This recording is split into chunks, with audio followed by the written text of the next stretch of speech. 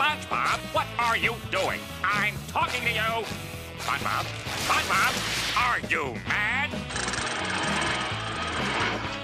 Shut your mouth, you mediocre clarinet player. Mediocre?